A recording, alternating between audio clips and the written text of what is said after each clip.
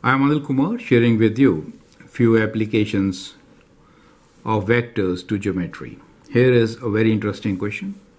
You need to prove that the diagonals of a rhombus intersect at right angles. Right? So let's uh, make a rhombus.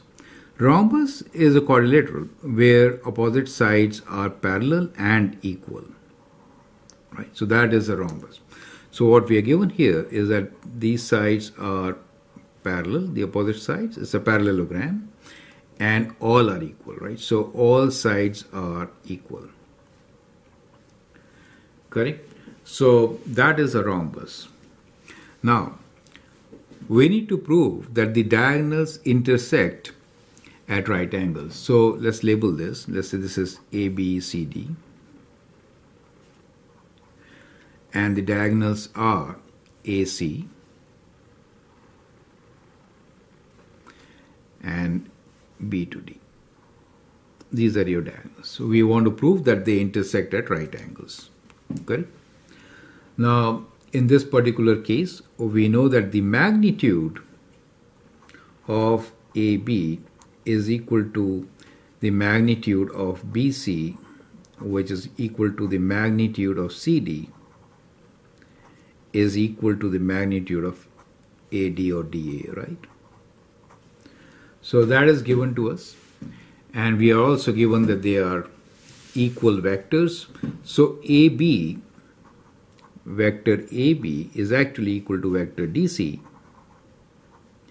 and the vector AD is equal to vector BC since it is a rhombus. Okay?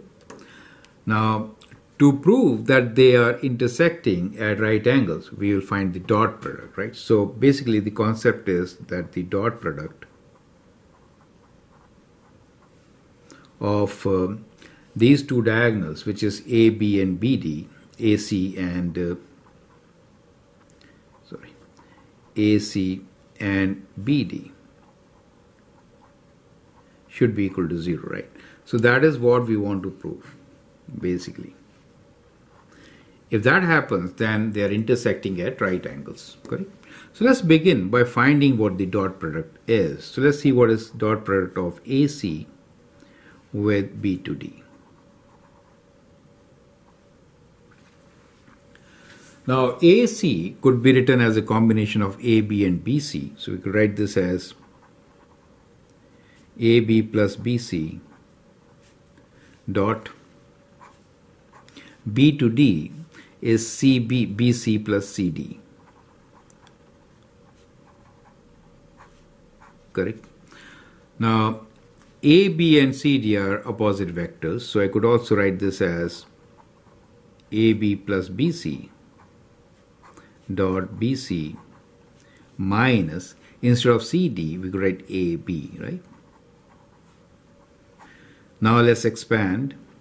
So we have AB dot BC and then we have minus sign AB dot AB. With BC we have BC dot plus sign BC dot BC minus sign BC dot AB. Correct? Now, AB dot BC and BC dot AB is one and the same thing, so they cancel out. Alright, they cancel out. So you are left with these two, which I'm going to rewrite BC dot BC. This is so BC dot BC is basically the square of the magnitude. Let me write here first BC dot BC minus AB dot AB, right?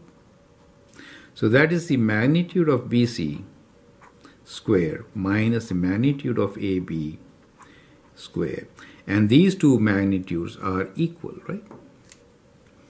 So magnitudes of AB and BC are equal.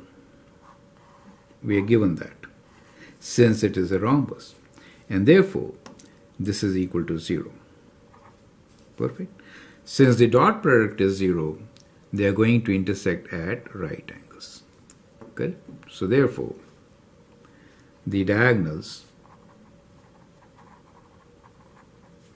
intersect at right angles. I hope that is clear, right? Feel free to share your comments and views and if you like and subscribe to my videos, that'd be great. Thanks for watching and all the best.